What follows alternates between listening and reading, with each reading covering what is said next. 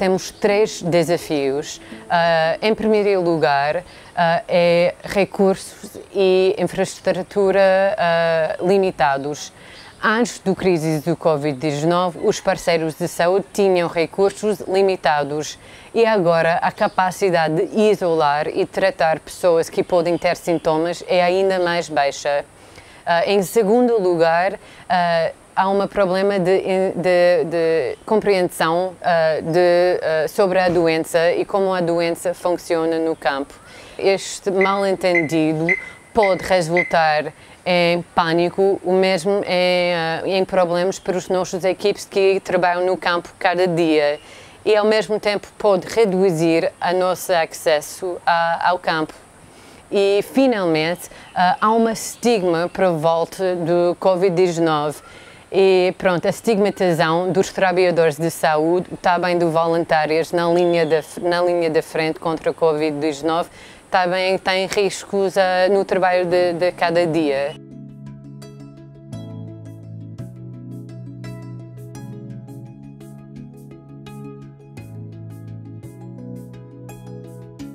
Neste momento, a OIM reforça os equipes de saúde e de água e saneamento em saúde, melhoramos a capacidade de isolar e tratar pessoas que têm sintomas de Covid-19. Uh, ah, ao mesmo tempo, o, a equipa de saúde compra equipamentos essenciais como as estações de lavagem das mãos, uh, ah, EPI para distribuição e também água e sabão. Por outro lado, a nossa equipa de água e saneamento uh, faz tudo para garantir uma distribuição contínua de sabão, água e também de mensagem sobre a higiene. Uh, em cima disso, fazemos tudo para sensibilizar e falar com a comunidade.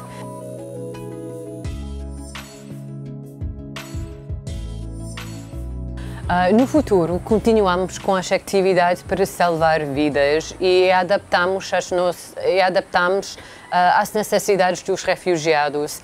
Ao mesmo tempo, vamos trabalhar junto com a comunidade no campo uh, na disseminação de mensagens e informação sobre a Covid-19. mas a coisa mais importante no final é a coordenação e cooperação dentro da comunidade humanitária. Estamos agora numa crise, numa crise uh, global sem precedente que uh, exige uma resposta coordenada